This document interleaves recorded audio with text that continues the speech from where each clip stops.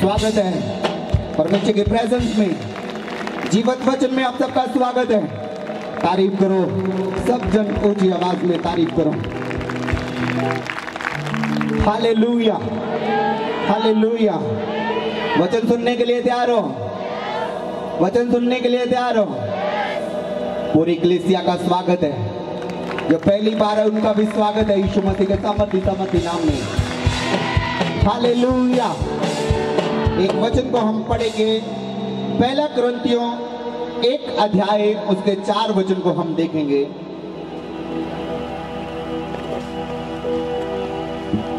ਮੈਂ ਤੁਹਾਡੇ ਲਈ ਸਦਾ ਪਰਮੇਸ਼ਰ ਦਾ ਧੰਨਵਾਦ ਕਰਦਾ ਹਾਂ ਕਹਿੰਦਾ ਮੈਂ ਤੁਹਾਡੇ ਲਈ ਪੌਲਸ ਕਹਿ ਰਿਹਾ ਮੈਂ ਤੁਹਾਡੇ ਲਈ ਸਦਾ ਪਰਮੇਸ਼ਵਰ ਦਾ ਧੰਨਵਾਦ ਕਰਦਾ ਹਾਂ ਕਿ ਉਸਨੇ ਆਪਣੀ ਕਿਰਪਾ ਉਸਨੇ ਆਪਣਾ ਅਨੁਗ੍ਰਹਿ ਮਸੀਹ ਯੀਸ਼ੂ ਦੇ ਦੁਆਰਾ ਮਸੀਹ ਯਿਸੂ ਦੇ ਦੁਆਰਾ ਤੁਹਾਡੇ ਤੇ ਕੀਤੀ ਹੈ ਤੁਹਾਡੇ ਤੇ ਕੀਤੀ है तारीफ करो जोर से परमेश्वर की किसके द्वारा अनुग्रह आया बोलो जीसस के द्वारा बोलो यीशु मसीह के द्वारा हम पर अनुग्रह हुआ है ऊंची आवाज में अपने पड़ोसी को बोलो यीशु मसीह के द्वारा हम पर अनुग्रह हुआ है आमीन हालेलुया बाइबल बताती है जो कोई विश्वास करेगा वो बचाया जाएगा। हालेलुया। जब आप यीशु मसीह के ऊपर विश्वास करते हो, आप उस दिन अनुग्रह पाते हो। उस उस दिन अनुग्रह आपके ऊपर आता है। हालेलुया। जिस दिन आप आप परमेश्वर प्रभु यीशु मसीह के ऊपर विश्वास करते हो, यही मेरी, मेरा उद्धार करता है। यही मुझे चंगा कर सकता है। यही मुझे छुड़ा सकता है। यही मेरी गरीबी को खत्म कर सकता है। यही मेरे श्रापों को खत्म कर सकता है। जब आप उस पर विश्वास करते हो कि उसने मेरे लिए क्रॉस को उठाया है, सलीब को उठाया है, और मेरे सारे पापों को, अधर्म को, सारी गलतियों को क्रॉस के ऊपर ले लिया और मेरे सारे श्राप अपने ऊपर ले लिए। जब आप विश्वास करते हो, आप उधार को पाते हो, आप बचाए जाते हो, आप अनुग्रह के नीचे आते हो यीशु मसीह के सामर्थ्य सामर्थ्य नाम में। हालेलुया हालेलुया कहता जो कोई उस पर विश्वास करेगा, वो क्या पाएगा? उधार को पाएगा। जब हम प्रभु के ऊपर विश्वास करते, हम उधार को पाते हैं। मैं संडे बता रहा था कि अगर अगर हमारी लाइफ में अनुग्रह है, तीन चीज़ें हमारी लाइफ में ज़रूरी है, लेकिन जब अनुग्रह आता है, दो चीज़ें अपने आप हमारी लाइफ में आती हैं। हालेलुया अनुग्रह के साथ साथ हमारा नाम जीवन की पुस्तक में हो। उसके बाद हमारे ऊपर पवित्र आत्मा की मोहर हो। कहता जिसका नाम जीवन की पुस्तक में ना मिला, उसको उसको नरक की झील में डाल दिया जाएगा। जिसके ऊपर पवित्र आत्मा की मोहर ना मिली, उसे क्या कर दिया जाएगा? रद्द कर दिया जाएगा। लेकिन जीवन की पुस्तक में नाम कैसे लिखाया जा सकता है? और पवित्र आत्मा की मोहर कैसे लगती है? जब हम एक अनुग्रह को, एक परमेश्वर की कृपा को अपने ऊपर आता हुआ देखते हैं, हम अपने जीवन में उसे उतारते हैं। और वो अनुग्रह आता कैसे है? जब हम प्रभु यीशु मसीह के ऊपर क्या करते हैं? विश्वास करते हैं। हालेलुया! जब एक अनुग्रह के नीचे होता है व्यक्ति तो उसी दिन उसी दिन जान ले कि मेरा नाम जो है, वो जीवन की पुस्तक में लिख लिया गया है। मैं पवित्र आत्मा का, खुदावन का मोर किया गया बंदा हूँ, यीशु मसीह के सामर्थी सामर्थी नाम में, जिस दिन आपके ऊपर अनुग्रह होता है। हालेलुया।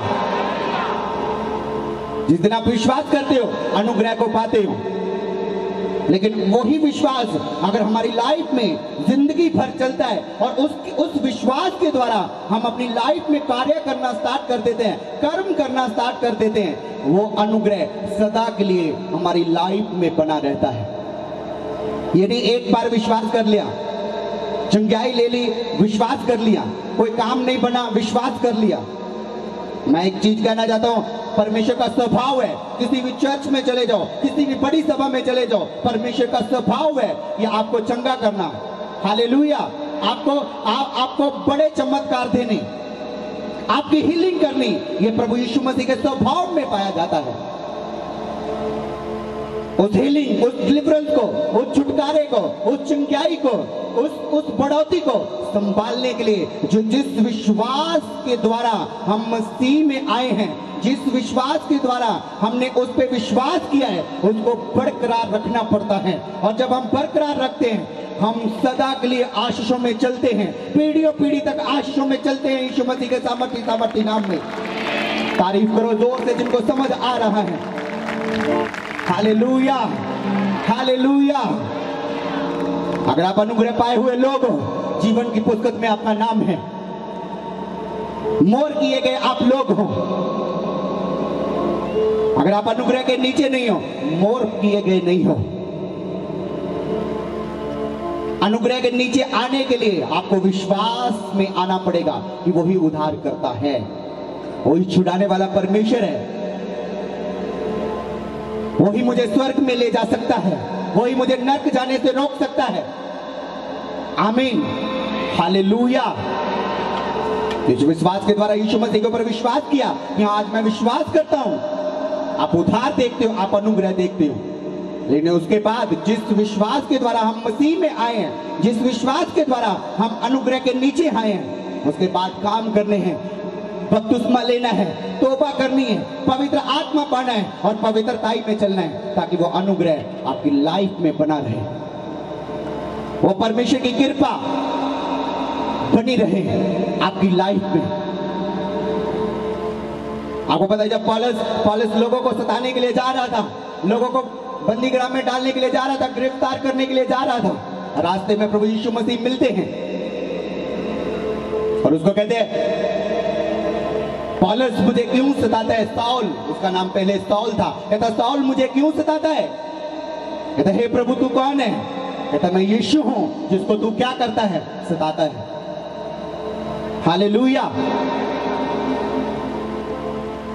और उसने उस टाइम विश्वास किया हाँ सचमुच केवल प्रभु यीशु मसीह मुझसे बात कर रहा और कोई नहीं। उसने ऐसे एक, एक नगर का नाम बताया कि इस नगर में चला जा। एक सर्वेंट एक एक मैन ऑफ़ गॉड तेरे पास आएगा। परमेश्वर ने हनन्या को तैयार किया कि जा जाकर उसे ब्लेस कर। हालेलुया और हनन्या आने के लिए तैयार नहीं था कि मैं नहीं जा सकता क्योंकि वो वो विश्वासियों को मारने वाला बंदा है। वो हमें गिरफ़्तार करने के लिए आ रहा। मैं क्यों जाऊँ? कहता तेरे को जाना पड़ेगा। वो अब पॉलस नहीं, वो सॉल नहीं रहा, पॉलस है। वो वो क्या है? पहले जैसा नहीं है, वो मेरा बन चुका है। मैंने उसे चुन लिया है। मैंने उस पर मोर लगा दी है। हनन्या उसके पास गया, बाइबल बताती है। उसी टाइम उसने बपतिस्मा लिया। उसी टाइम चेलों के साथ कुछ टाइम संगति की। तुरंत बाइबल पकड़ी और प्रचार करने लगा जीसस का। हालेलुया। समझ आ रही मेरी बात की? जब आपके ऊपर अनुग्रह होता है, आपने केवल अनुग्रह को अनुग्रह को ले लिया, उसको संभालने के लिए आपने एक विश्वास के नीचे आना है। और उस विश्वास के मुताबिक आपने काम करना है। लुया ज़ोर से हालेलुया बोलो जो समझ रहे हैं आज के वचन को। ज़ोर से हालेलुया बोलो।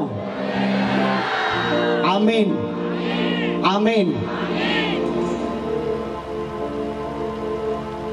आप विश्वास में आए, अनुग्रह के नीचे आए, उसके बाद आपको कार्य करना है, उसके बाद आपको कर्म दिखाना है। बपतिस्मा लेकर तौबा करके, पवित्र आत्मा पाकर, हालेलुया, प्रभु के सुसमाचार के लिए निकलना है। प्रभु के कामों के लिए निकलना है प्रभु की सेवा में निकलना है ताकि वो अनुग्रह सदा के लिए आपके साथ बना रहे। नहीं तो अनुग्रह छीना जा सकता है अनुग्रह से नी, नीचे से आप निकल सकते हो। क्योंकि तो विश्वास करने के बाद आपको क्या करना पड़ता है? कर्म करना पड़ता है। ताकि आपका विश्वास फो, फोका ना दिखे। कि सिर्फ़ मुँह तो ना दिखे कि मैं यीशु से विश्वास करना पर साढ़े काम ना सुधरे हो विश्वास करने के बाद, अनुग्रह लेने के बाद, आप जीसस जैसा स्वभाव रखो जीसस जैसी प्रार्थना रखो, और जीजस जैसे आप काम कर पाओगे, काम देख पाओगे, यीशु मसीह के सामर्थ्य सामर्थ्य और पवित्र नाम में। आमीन।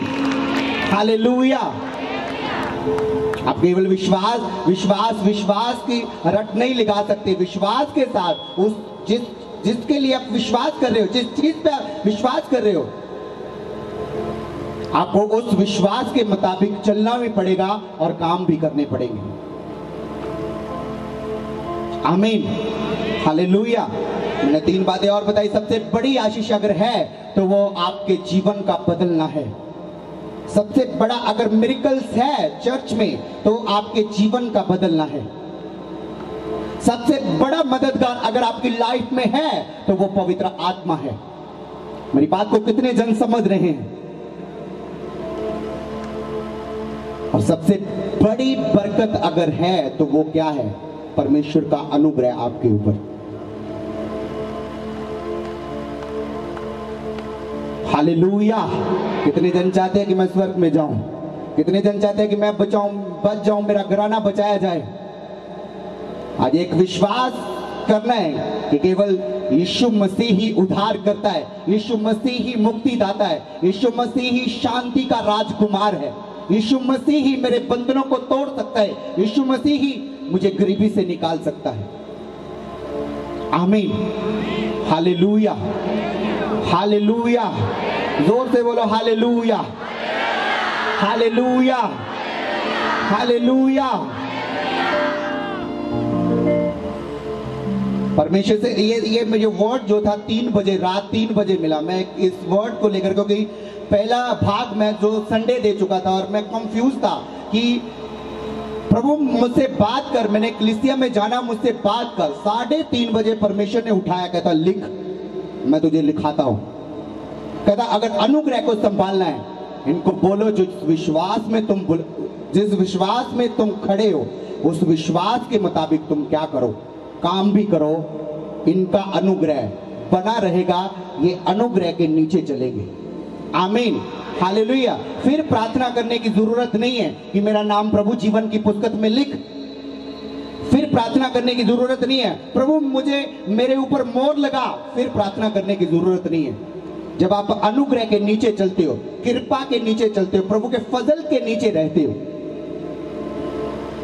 आप इन दोनों चीज़ों को फ्री में पाते हो।